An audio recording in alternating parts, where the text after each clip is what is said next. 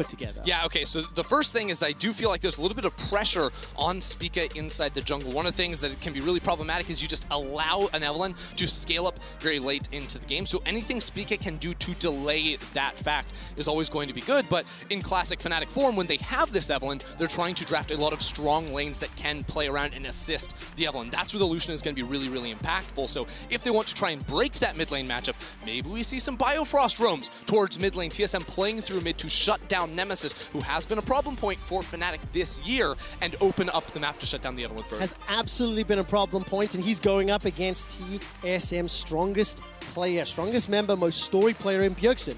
Nemesis versus Bjergsen could be one of those pivotal, pivotal matchups, but I think it is crucial to point out that when Selfmade does get a comfort pick, he does perform at a higher level. And this will be our first taste of NA versus EU in groups. So, Selfmade and Spica, where my eyes are going to be very, very early on. And I love that yes, skin riding into battle and early game shenanigans. TSM trying to uh, get this game off with a bit of a bang. Bjergsen actually going to force Nemesis to step back. And this allows TSM to path in through the brush. Selfmade will know what's going on as he does spot out Spica, but doesn't necessarily know the rest of the team is here. I think it's a safe bet for Fnatic. But I really like TSM invading the jungle from level one to try and disrupt Selfmade's level one plan. Okay, where does he respond? Right now, the rest of Fnatic grouped up in a traditional death bush, as I believe they called dibs on that very early on in League of Legends, but they will not stick around too long. A number of uh, TSM pings Ooh. inside the red buff. Now, do Fnatic consider counter invade? Fnatic have no vision of TSM, so they might think that TSM are still up in the top side jungle. And what's going to end up happening is there is going to be a fight at level 1, almost certainly. The, the big difference here is Nemesis will be grouped up with the rest of the team, but now, if Bjergsen is able to read this one out and get down into the river, or into the jungle quickly, we could see an all-out brawl. Okay, multiple members, four-man stack from Fnatic. Uh, 1 minute 20, now they're going to make the move forward. The sweeper is popped, so they know they haven't been a vision. Oh, TSM are going to spot it super late, though.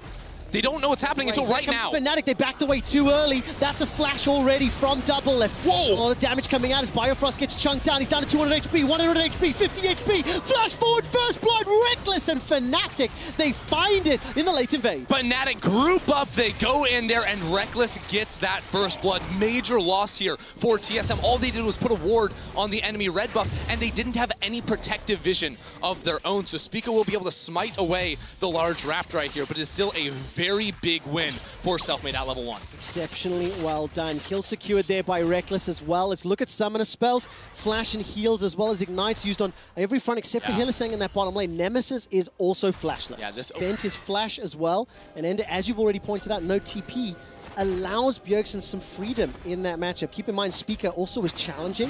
Selfmade as the engage comes out here from Hylissang he's got himself some boots. Biofrost is flashless, and he may just get taken down for the Ooh. second time. Stepping into the tower, the Ignite picks it up for Hylissang and Fnatic. Yeah, Hylissang waited the last possible second to drop that one. The heal was able to keep Bio alive for a while, but that's the punishment for not having the flash available. Another hit in that bottom lane. Biofrost is really getting bullied now. Now we convert it into a side lane here, especially with Bwipo playing very aggressively. Broken Blade has his jungler in the area. Right, there is a potential for Selfmade to help out, but Spica's coming in, got that blue buff available to him. Bwipo down a little bit low. He does have flash, making his way towards level 6, and Selfmade is still working on the Krugs. Oh, level 6! Level 6! Sky Splitter is available. Stormbringer, does he bring the noise? Oh! Yes, he does! The Flash chop down! Flash base slap indeed from Bwipo, and Selfmade arrives just in time to dissuade a follow-up. The most unlucky timing possible, and Bwipo is losing his mind. He's back at Worlds. He's filling himself after that one. That is a mental edge if I've ever seen it. Three kills to zero, a thousand gold up. Pop that ulti, but they're going to try and punish him. They absolutely will. The stun comes out as well. Hextech ultimatum. Bjergsen's now tanking the tower, and Broken Blade with Precision Protocol. They get the kill. They deny a huge wave, and that's fantastic. What was I saying, Trevor? Bjergsen level 6. They're able to come up into that top lane and punish the ultless Bwipo. Fnatic. Bjergsen's already backing away. But look top, at, though. Look at Broken Blade. No flash available. Bwipo no ultimate available.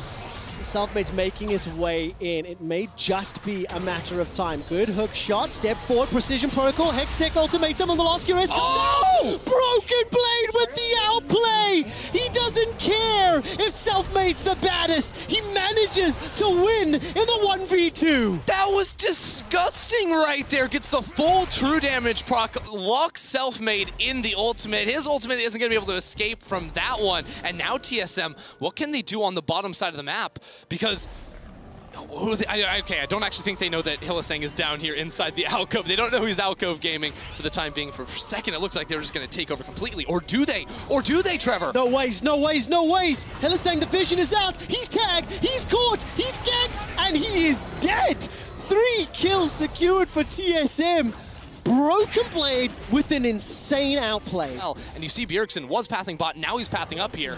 We could have a fight on our hands. Oh, Selfmade's looking for Spica. Whoa! Last Caress, hates Spike, and with the help of Nemesis, Spica gets obliterated. Now there's pressure in the mid lane. So all of a sudden, TSM's potential plan of Rift Herald is thwarted. Yeah. And we may have a small sort of gentleman's agreement. Um, a minute and a half till the Mountain Drake going to be a little while before Baron is really hotly contested, I feel.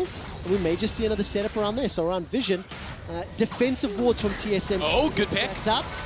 Curtain Call, one and two will tag Biofrost. The third will hit him too, and so does the fourth. That's a really sick combo, though, because of course you need Jhin's, you need damage on the enemy for Jhin's W to actually apply the CC. Here we got a fight. It's the engage. Biofrost trying to run for his life. Unbreakable Will is up, and inside the Hextech ultimatum is Hylissang, countered by his Kryptonite Camille. Now Bwipo's in trouble, stunned up by of the Week. The ultimate is fired. Ooh. He survives! Manages to escape with his life. The Aegis doing so much work. It's a thousand goal lead to Fnatic.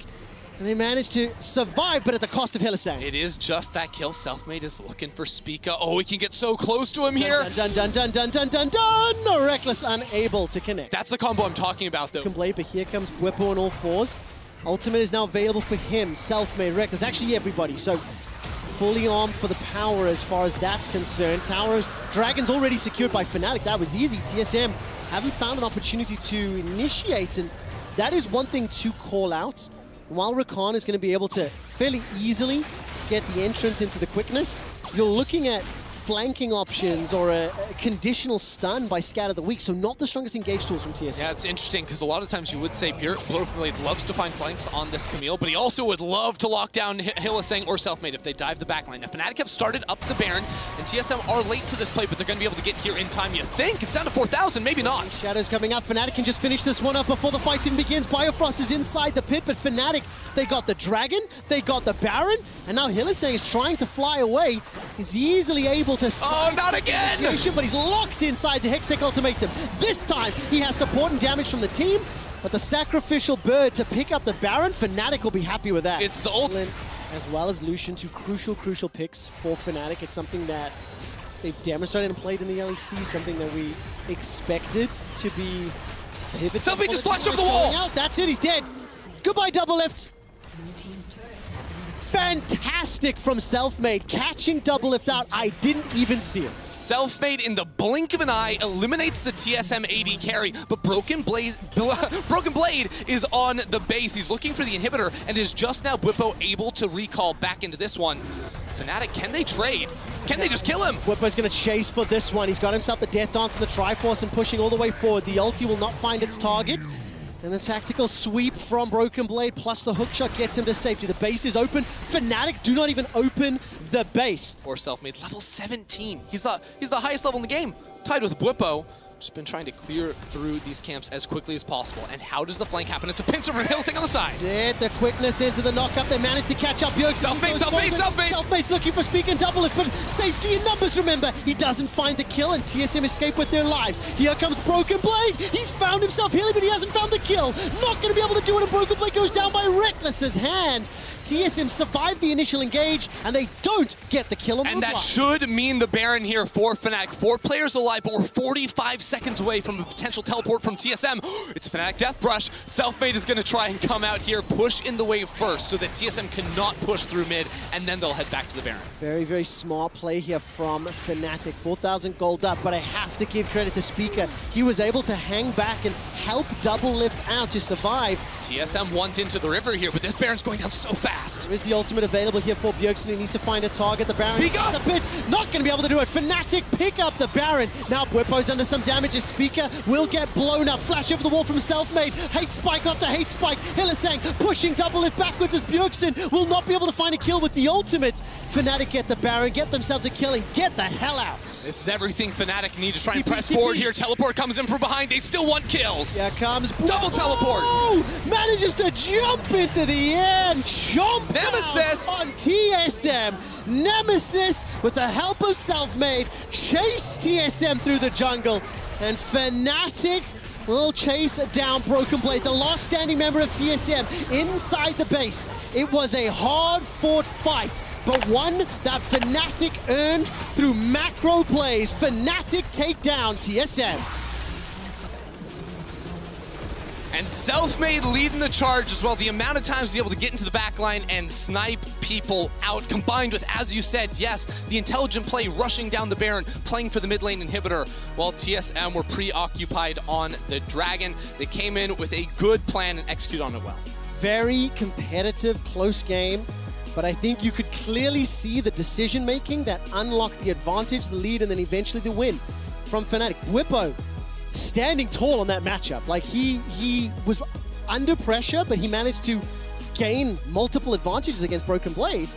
And and you called it. The Sneak Baron, the map play, it's a different look from the regional play. Yeah, and it was really hard for TSM because they, they did do pretty well in the laning phase, right? Like the outplay from Broken Blade in top lane, Bjergsen had a big lead uh, in terms of CS over against Nemesis. But when it came down to the fights, under the threat of the level 17 Evelynn jumping into your backline, whenever Broken Blade tried to go in, there couldn't necessarily be that follow-up when they're trying to play back, when they're trying to disengage from that Evelynn. So having that pick be able to split up the fights entirely really made it hard for them in the 5v5.